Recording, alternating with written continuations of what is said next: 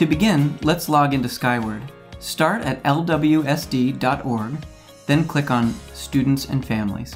Find the link to Skyward in the green box and log in.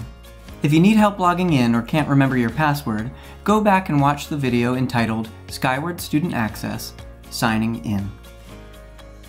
To view your attendance info in Skyward, click Attendance. This will display the dates of any excused or unexcused absences. To see which classes you missed, click View Classes. The sidebar on the right displays excused and unexcused absences for the current quarter and year-to-date absences in total.